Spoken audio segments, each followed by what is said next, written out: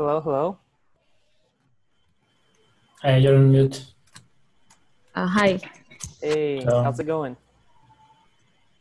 Going good. Just the day has just started. Nice. Yeah. It's a good good way to start your day was the team pulmonary fibro- fibrosis. Yes. Yes, that's true. awesome. Uh, we're super excited for uh, you joining the the team and in whatever capacity that you can help us define um, the the medical uh, problem statement. It would be amazing, just because primarily the team consists of data scientists and even though we have uh, you know bi- uh, biomedical researchers from like nebraska medical center and others um, more more heads more brains is always better. So welcome uh, first of all. And maybe you can uh, give us like a quick like two sentence introduction of of uh, who you are and how you think you can help Uh, so yeah, so currently I am a student at University of Southern California here in Los Angeles. I'm in my second year, and I'm pursuing my uh, master's in applied data science. I'll be graduating in May 2021. So before coming to USC, I worked as an associate data scientist back home for around two years at a startup. So I got to like work on different use cases in machine learning and computer vision and different projects which were like really it was really cool. So which got my interest in pursuing my masters in data science. So coming after coming here similarly not just i didn't just stick to the academic um what what a syllabus but also worked on different side projects in college. And also in summer i uh, did um, work as a student researcher as a as well as a data scientist in a company just just for the sake of experience. So yeah i'm pretty motivated to work for um, on this uh, particular problem statement of pulmonary fibrosis. I never worked on a medical um, uh, or any medical use case before and i think it is catching a lot of it's going to gain a lot of scope ahead. So that's what caught my and caught my eye of working on this project and i thought that i won't be able to do it alone. So joining a team would be a better option so that i get to learn more and in depth yeah. Yeah that, So you started by uh, you started by looking at the Kaggle challenge. yes i looked at the kaggle challenge i downloaded the data i was exploring it. I was looking at what is the pidcom wh- what are like um, what are those images ct scans what all information we get. So i kind of did some basic exploratory analysis but then i was like what how, what is the target variable? What what do, how do we achieve what we have to achieve? So i was kind of stuck over there. And then i was like looking at discussions and notebooks and then i came across CoronaWhy that there is a team which is working on this particular project with some domain expertise um, on um, uh, yeah so what uh, this disease is about and maybe so yeah and i also saw i think so, um, i don't know one sheet which said what all uh, meetings i'll have done and uh, what all uh, uh, what kind of people are involved like from different backgrounds. So yeah that's what i wanted to work on with.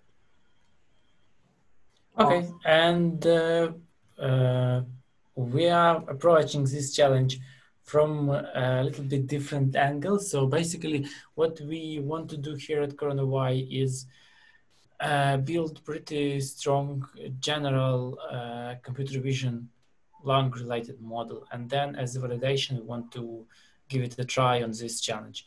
Uh, do you have familiarity with semi-supervised learning uh, idea? Mm. Yeah, it's very popular. It's used a lot in in neural language processing, like something like GPT or BERT. This the whole idea is training on the huge data sets without labels, or actually, it's it's always training with labels. But the idea is labels generated on on the fly. This is these are auxiliary labels. For example, in computer vision, there are some some many techniques, but some of them is like you take the image, you split it in, for example, two pieces. One goes from top, another from bottom, and you train the model to predict hmm. if it's taken from top or bottom. So this is something that is does not require human labor, doesn't require, doesn't cost Okay. money, right? You, you generate it on the fly. There are many techniques used to, so basically you train a big and heavy model on the big amount of data that doesn't have any meaningful labels. All the labels are generated on the fly. And then you take a really, really small amount of label data and you train the model and it achieves even better if you had uh, 10 times more labels or stuff like this. So this is what's called semi-supervised learning. And the idea that we want to try here is to train a model in a semi-supervised way, like the Google did for, I believe, ImageNet, CIFAR. They, they, they trained this model. It's called SimCLR and uh, okay. they trained it in a semi-supervised way. Mm. and it it performed really well. Like they fine-tuned it on like 10% of labels of, uh, of a lot of benchmarks. They took multiple benchmarks and then they uh, took 10% of data or even less. And outperforms like and achieved higher scores than state of the art art at that time. So what we want to do is uh, take a lot of data sets. Those are models like general computer vision models mm. with to classify cats and dogs, you know, and planes and cars. So what we want to do is do something similar, but for uh, CT scans and okay. to be specific, long CT scans. Uh, take few huge data sets, which we already found, train this model, uh, publish like publish everything publicly, the scripts for training the data, model weights and stuff like this. And when we have this pre-trained model, we fine tune it on this Kaggle dataset and see if it helps, if it improves the score.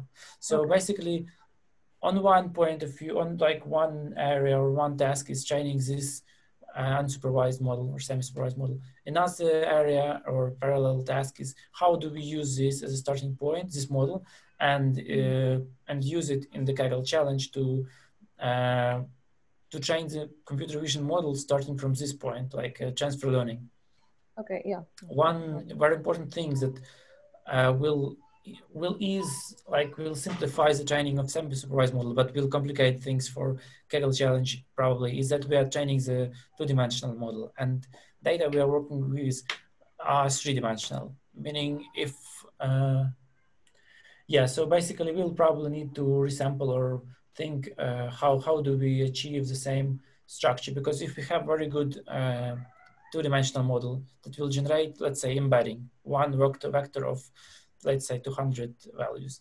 And then we train this model, it's really good, it can be plugged in and use this semi-supervised model. So now we want to plug it into Kaggle Challenge. And in Kaggle Challenge, we take one sample, it has 300 slices. It means mm. 300 levels, right, of this DICOM image. And another has uh, 250 and another has 400. So the question is, how do, will we go about it?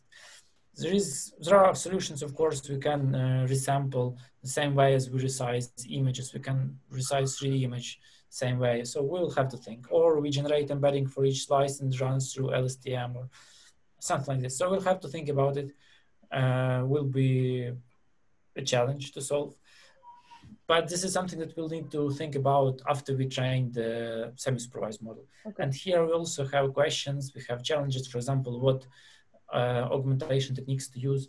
This SimCLR by Google that I mentioned, the idea mm. is they would take a picture and they will they would train the Siamese or similar to Siamese network where you have triplets. So you take one image, do some augmentations, and train the model to say that this first image and say and augmented image are the same images, and then you take random images again apply apply augmentations and train model to to differentiate them.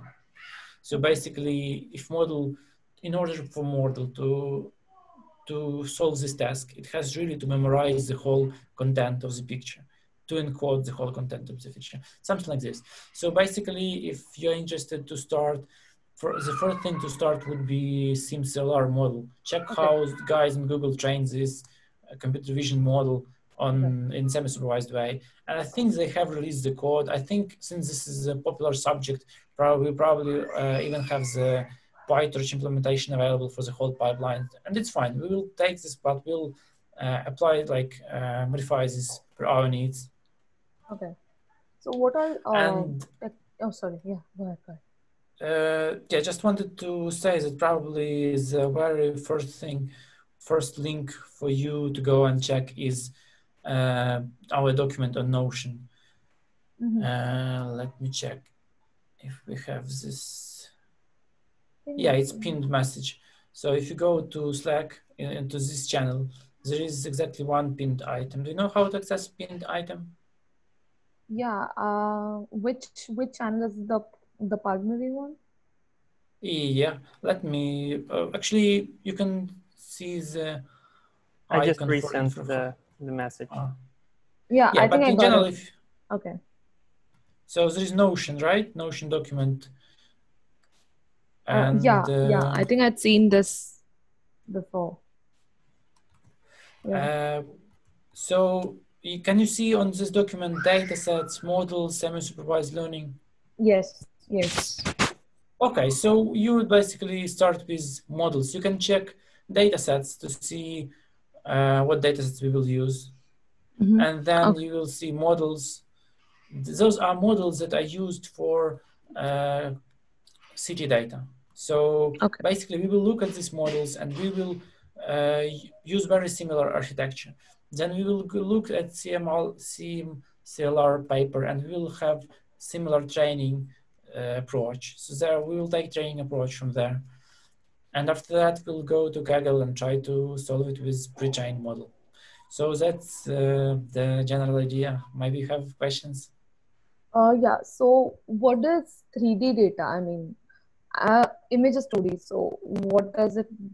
What is meant by 3D data? I mean, how do we have 3D data here? Uh, Yeah, we have DICOM image, which is 3 data, which is 3D data, meaning, meaning it's like an, it's like an image. It's just not a matrix. It's a cube. It's a three-dimensional array, and you can slice this array and get get an image. So while while training our first semi-supervised model, we will be taking these slices separately. Each slice will be taken separately as a picture, and this is, is going to be used to train a, a semi-supervised model. But our actual data in the in the challenge, like in our our pre-training data sets, they also 3D, but we have no problems cutting them into photos, into 2, 2D model uh, images. But our our data in Kaggle is 3D, meaning when the person went to CT, they scanned the whole vo volume, you know? And then there are different devices, they scan with different, um, I'm not sure it's called precision or something like, they can make, take a scan every one millimeter of your body, or it, they can go every half a millimeter or every two millimeters, stuff like that. Okay, okay. And like, what uh, do I have to learn any new uh, tools, or like which tools do I have to learn? So like TensorFlow, I'm familiar. So which um, tools do I have to like just? Uh, We thought about using FastAI because specifically they have some uh, libraries for and and functions for medical imaging, which is, for example, for normalization, and probably we'll go with PyTorch because uh, everyone likes PyTorch, and this is like a more convenient way probably to train. But anyway, I think the best way to learn is to learning on the fly, learning on the go. And for dealing with DICOMs, I used to work with simple uh, ITK. It's called simple. Yeah, it's called SimpleITK. Uh, but there are also some methods implemented in FastAI, so we'll probably use some of them as well. The, like the data is stored in Hounsfield units, this DICOM, and this units is basically intensity of the or density of the tissue at this point of, of volume of body. So the bone will have one intensity, the uh, parenchyma of lungs will have different uh, density or like brain and bones, all stuff, muscles, they all have different uh, density. And so in the pictures, will have different intensity, but uh, there is some such thing as CT window. Uh, what it means is like if we have this Hounsfield units, the value go, let's say from 100 to 2000, yes, right? Then the simplest and the most stupid way is you just scale this from zero to 225, right? And like grayscale and print it. yeah. But the problem is uh, all the stuff that is actually important for radiologists. Let's say it's it's it's hidden between uh, 1,000 and 1,300. So if you scale the whole range, uh, you will basically your values of the image will go from zero to 255, but all the important stuff will be somewhere behind 230 and 235 or something like this. So Mm. on the image, it will all just be gray area that will Mm. complicate things. So what usually people, radiologists do, they apply this thing called CT window. It will like cut the scale, like it will remove everything that is below, let's say 230 and put this as a new zero and then stretch the rest of the histogram, the rest of the range.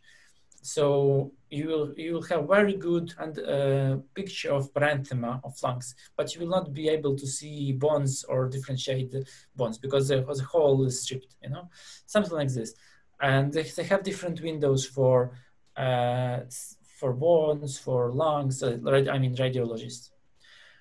But for computer vision, even if these values are hidden somewhere like from uh, 1,300 to 1,350, and fifty, and some values like uh, uh, the value from one pixel dif- different from one pixel by some uh, decimals or hundreds of the of the number. It's still fine with computer vision algorithms. It's not a big deal. So that's uh, I, I share this article article in uh, in our chats saying don't look like radiologists meaning computer vision mm, algorithms they don't have to you don't need to strip the, the range. Still it's a good idea to, norm, to normalize the histogram.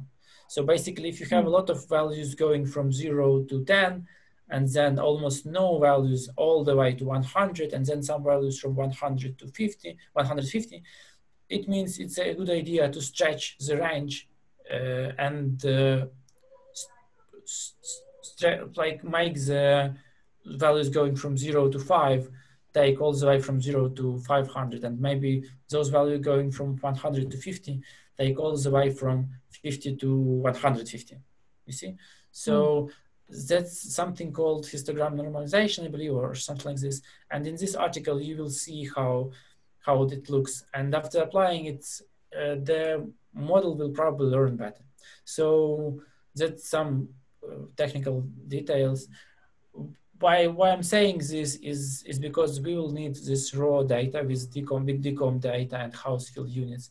But the problem is some data sets, for example, one like the biggest uh, CT related data set, actually pneumonia related data set I found is from some Chinese guy. And this, this data set is PNG and this PNG, PNG is generated after the lung window has been applied. So Mhm. after they stripped the values from and uh, from this range. So probably we'll not use this data set. We will have to check other data sets. When we have the raw DICOM, we'll do this histogram normalization and we will train this um, semi-supervised model. Once we can see that it's actually learning and it works, as the validation of this model, we will train it, or we will use it to fine tune on Kaggle data of this challenge and see if it helps. And if it helps, we'll publish the code and for for this model, for Kaggle competition, as well as code for training semi-supervised models, a trained model, and we'll try to help the world by, by giving an example uh, of, of this approach. Because this is something that is, just like sometimes some people just wonder why this is not done yet. Why there are papers like there are so many pre-trained models on ImageNet and uh, CIFAR and all those uh, on Mm. those image benchmarks and datasets, but there are no uh, models pre-trained on lung, right? Yeah, On lung scans or something. I haven't, uh, yeah, this is like the first time I'm dealing with a medical data set in general. So I like, I'm still exploring about it. So yeah, I've also haven't heard about any, I, I was going through papers as well, like CT scan, like images uh, where the data set is the CT scan of, I don't know. Uh, so yeah, this was kind of new to me as well. Uh, okay, so uh, when you have time, please check the document, check the SimCLR and uh, what that guy from FastAI, it's actually author of FastAI, put about viewing the DICOM data. I will be back, I have to go unfortunately, but I will be back here like in hour or two, and then I will be available for a couple of hours probably to answer any questions you might have. Okay, okay, so Awesome. I feel like we've accomplished a lot just by going through all the, the things. And this call will be also helpful for any other people that are still exploring how to help. Um, thanks a lot, guys. I'll, I'll upload the recording shortly. Uh, yeah, I just wanted to ask. Uh, so you will share it in the check channel. Please share it in the Slack channel. Yep, I'll do that Uh-huh. in, in Okay, a cool. couple of minutes. Okay. Okay, cool. Sounds Right, good. It was, Thank you, It was nice talking to you guys. Yeah, it was nice talking to you too. And uh, let me know, like, if I will be back. I have to go now, but uh, once I'm back, I'll answer any questions you might have. Oh. Awesome. All right. Thank Okay, you, guys. Bye bye. Okay, thank you.